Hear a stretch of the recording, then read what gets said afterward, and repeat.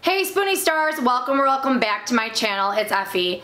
In today's video, I'm going to be talking about my favorite superfood, Moringa, how it's helped me with rheumatoid arthritis pain and inflammation, and which products I love. Stay tuned because that's coming all right up. If you haven't already, make sure to hit subscribe and join the rest of the Spoonie Star tribe and the bell to be notified every single time I post a new video. So what is Moringa? It has many names as you see here, but one of the most popular names is called the miracle tree, the miracle superfood. Why do they call it this? Because all of its parts can be used for nutritional and pharmaceutical purposes.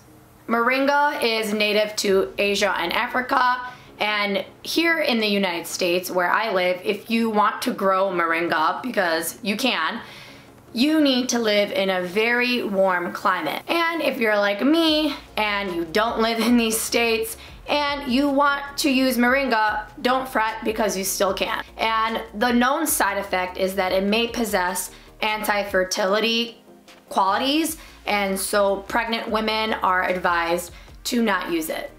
Some of the benefits of moringa are anti-inflammatory properties. I noticed that my inflammation improves when I put it in my smoothies, which I don't do every day, but I try to switch things up and this is one of the powders that I do put in my smoothies. I had it this morning and it has benefits for your hair and your skin and your nails and I recently made a video about hair thinning and hair growth and hair loss with rheumatoid arthritis and medications. And one of the items that I talked about was moringa oil from a company called Pure Vida. And that's what I've been using in my hair recently to combat frizz and make it shiny and just voluminous and really nice. And it's worked pretty well. Watch that video if you haven't. I go more in depth with that.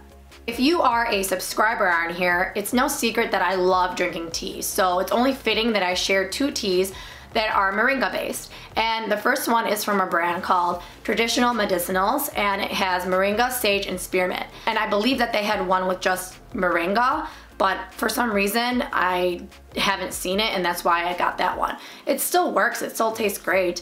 And I also found one from Mountain Rose Herbs, which is loose leaf because I know a lot of people don't like the tea bags. I tend to not like those either all the time. I like my loose leaf tea. I feel that it's healthier in a way. I made a poll over on my Instagram yet again and about 91% of people said that they have not tried Moringa. I don't have that many followers to have so many responses, but hey, that's something that a lot of people haven't tried this. I ended up asking what people's favorite go-to superfood is, and this is what people had to say.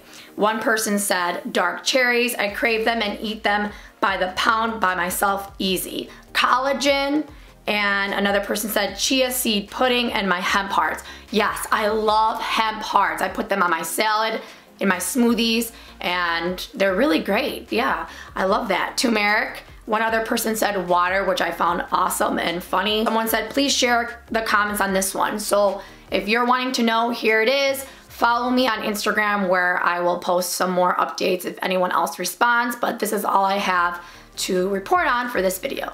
Let me know in the comments below if you have ever tried moringa and what your favorite superfood is if you haven't. And if it is, has it helped your RA at all? Alright guys, that's all I have for this video. I hope you found it informative and helpful as always.